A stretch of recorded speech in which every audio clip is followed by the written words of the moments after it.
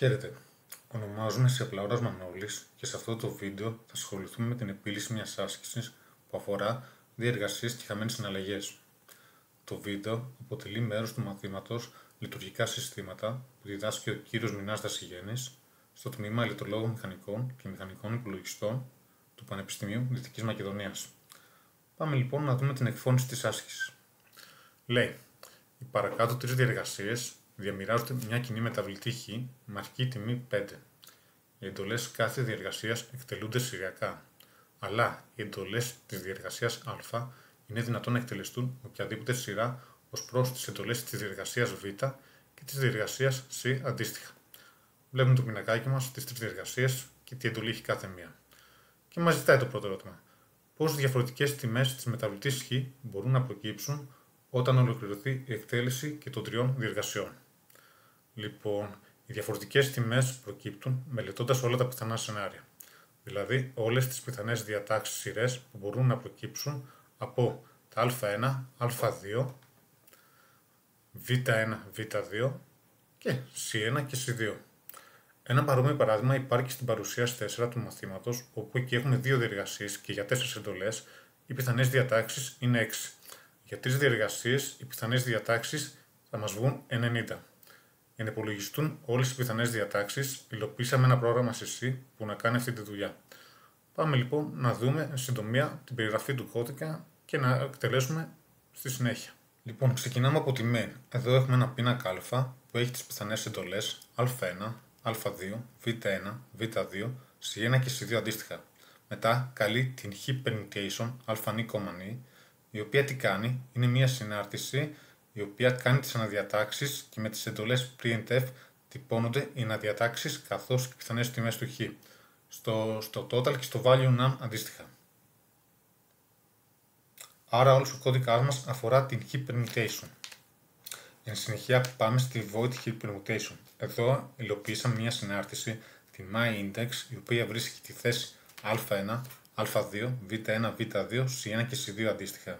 Δηλαδή εδώ ελέγχουμε αν η διάταξη σε αυτές τις τρεις γραμμές είναι σωστή και ότι κάθε εντολή είναι σε σωστή σειρά και δεν μπορεί δηλαδή του α2 να προηγείται του α1.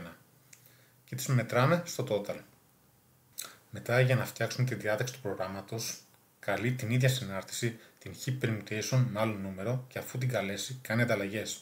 Ανταλλάσσει τα στοιχεία, δηλαδή αναδιατάσσει τον πίνακα ώστε να ξαναέχει permutation όταν κληθεί για να έχει πάρει ένα καινούριο πίνακα.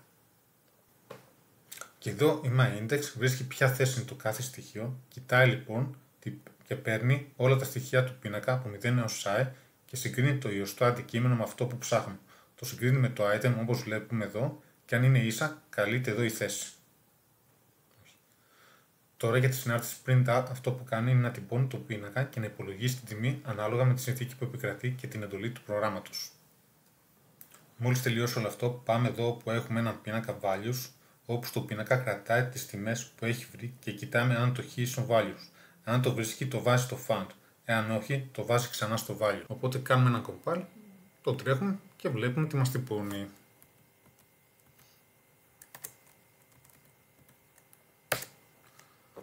Μας λέει ότι υπάρχουν 90 αναδιατάξεις καθώς και 12 πιθανές τιμές του χ. Αυτή ήταν η υλοποίηση του προγράμματος. Ασφαλώς δεν χρειάζεται να δημιουργήσουμε ένα πρόγραμμα κατά τη διάρκεια της εξέτασης για να το βρούμε, αρκεί να κάνουμε μια χοντρική εκτίμηση. Π.χ. στην πρώτη θέση μπορεί να είναι είτε η πρώτη εντολή της Α, είτε της Β, είτε της Γ, δηλαδή 3. Στη δεύτερη θέση άλλη μια σειρά να βγαίνει πάλι 3. Οπότε για τις 9 διαφορετικές θέσεις υπολογίζουμε μια τιμή κοντά σε αυτή που έχουμε βρει, δηλαδή 90 πιθανές διατάξεις. Β ερώτημα. Τι είναι χαμένες συναλλαγές; Είναι ένα θεωρητικό ερώτημα. Λοιπόν, οι συναλλαγές πρέπει να ικανοποιούν τέσσερις ιδιότητε. Η πρώτη, να είναι συνεπής, είναι μια συναλλαγή στην οποία οι αλλαγές σε τιμές της είναι συνεπείς. Δηλαδή, εάν η συναλλαγή αποτύχει, τότε όλες οι μεταβλητές που άλλαξαν τιμή κατά τη συναλλαγή θα αλλάξουν στις αρχικές τους τιμές πριν ξεκινήσει η συναλλαγή. Δεύτερον, ατομική συναλλαγή έχουμε όταν θέλουμε να ομοδοποιήσουμε μια σειρά πράξεων, ώστε να φαίνεται σαν μία όπως μια τραπεζική συναλλαγή. Είτε θα ολοκληρωθούν όλες οι πράξεις που απαρτίζουν τη συναλλαγή, είτε καμία. Αν εκτελεστούν όλες οι πράξεις, λέμε ότι έχουμε δέσμευση, commit. Αν δεν εκτελεστούν όλες οι πράξεις, έχουμε ματέωση, abort. Αρκεί να αποτύχει έστω και μία πράξη μιας συναλλαγής, πρέπει να γίνει ανέρεση όλων των διάμεσων πράξεων. Τρίτον, απομόνωση. Έχουμε όταν συναλλαγές δεν επιτρέπεται να διαβάζουν δεδομένα που δεν είναι συνεπή. Τέταρτον, διάρκεια. Έχουμε όταν οι αλλαγές που κάνουν οι συναλλαγές αφού ολοκληρωθούν δεν χάνονται. Μια χαμένη συναλλαγή συμβαίνει όταν μια συναλλαγή επιτρέπεται να διαβάζει δεδομένα από μια κοινή μεταβλητή η οποία έχει τροποποιηθεί από μια άλλη συναλλαγή χωρίς να έχει αποθηκευτεί αυτή η τροποποίηση. Τρίτο ερώτημα. Τι πρόβλημα δημιουργούν οι χαμένες συναλλαγές; Όπως το αναφέρει και η λέξη, μια χαμένη συναλλαγή περιέχει μια χαμένη πράξη. Οπότε το τελικό αποτέλεσμα της συναλλαγής είναι διαφορετικό από το προσδοκόμενο. Εδώ έχουμε ένα παράδειγμα με δύο τραπεζικές συναλλαγές. Πάμε λίγο να το εξηγήσουμε. Έστω ότι έχουμε στο λογαριασμό μας 10 ευρώ και πάει να κάνει ανάληψη ο χρήστης 1 5 ευρώ και ο χρήστης 2 κατάθεση 3 ευρώ. Τότε λογικά πόσα θα μας μείνουν, 8 ευρώ. Το πρόβλημα όμως είναι το εξής. Για να δούμε πρώτα τη σειρά, ας πούμε ότι δύο χρήστες είναι σε δύο διαφορετικά ATM και έχουν κάρτα πιστοτική για τον ίδιο λογαριασμό. Πάει ο πρώτος δηλαδή να τραβήξει 5 και ο δεύτερος να βάλει 3. Οπότε πάει ο χρήστης 1 και διαβάζει το υπόλοιπό του πόσο είναι το balance, 10. Την ίδια ώρα ο χρήστης 2 διαβάζει και το δικό του υπόλοιπο και είναι 10 και σε αυτόν. Τραβάει λοιπόν ο χρήστης, κάνει ανάληψη ο χρήστης 1 το balance γίνεται 5 ευρώ. Ενώ στο ATM του χρήστη 2 το υπόλοιπο γίνεται 13. Οπότε στο τέλος τι γίνεται, ενημερώνει το μηχάνημα τον χρήστη 1 ότι έχει υπόλοιπο 5, ενημερώνει το μηχάνημα τον χρήστη 2 ότι έχει 13 και ξαφνικά βρίσκονται 13 ευρώ αντί για 8. Αυτή είναι μια χαμένη συναλλαγή και συγκεκριμένα αυτή είναι εδώ που τονίζω. Τέταρτο ερώτημα. Μπορούν να υπάρξουν χαμένες συναλλαγές σε αυτές τις διεργασίες; Αν υπάρχουν χαμένες συναλλαγές, με ποιο τρόπο μπορούν να διορθωθούν και να δώσουμε και ένα σχετικό παράδειγμα; Λοιπόν, μπορούν να υπάρξουν χαμένες συναλλαγές σε αυτές τις διεργασίες; Αυτό φαίνεται και από τα αποτελέσματα που πήραμε από το πρώτο ερώτημα. Θα θέλαμε οι διεργασίες να εκτελεστούν ολόκληρες, οπότε να μπορούσαν να προκύπτουν μόνο τα εξής αποτελέσματα. Αυτά εδώ.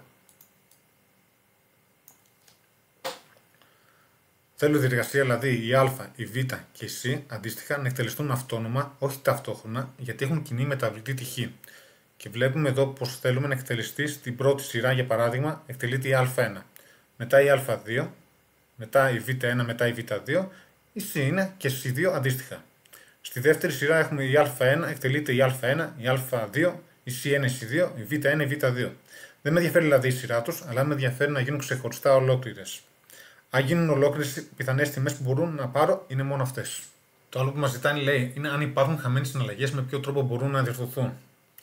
Αυτό που πρέπει να κάνουμε είναι να βάλουμε ένα σημαφόρο πριν και μετά από κάθε διεργασία, ώστε να εξασφαλίσουμε ότι θα εκτελεστούν ολόκληρες ατομικά. Α περιγράψουμε λοιπόν ένα σχετικό παράδειγμα. Έχω ένα σημαφόρο, το Mutex, που ξεκινάει με τιμή 1. Όταν κάνω down ένα σημαφόρο, τι κάνει αυτός; Ελέγχει αν έχει θετική τιμή. Αν έχει, συνεχίζει την εκτέλεση του προγράμματος. Για να το δούμε στη διεργασία Α. Κάνει down mutex. Στην προκειμένη περίπτωση έχει θετική τιμή, γιατί ο σημαφόρος είναι 1. Θα το κάνει 0, θα το κατεβάσει δηλαδή κατά 1 και θα συνεχίσει το πρόγραμμα. Η διεργασία Β τώρα, αν πάει να κάνει down mutex, θα βρει το σημαφόρο 0 και θα δεν μπορεί να εκτελεστεί και θα περιμένει. Οπότε η Α θα κάνει την πρώτη δουλή, τη δεύτερη και μετά την τρίτη. Και μόλις κάνει up mutex, δηλαδή αυξάνει το σημαφόρο κατά 1, θα μπορέσει μετά η Β διεργασία να εκτελέσει τις δικές της εντολές. Το ίδιο παράδειγμα ακολουθεί και η διεργασία C. Αυτή ήταν η επίλυση της άσκησης. Σας ευχαριστώ που παρακολουθήσατε.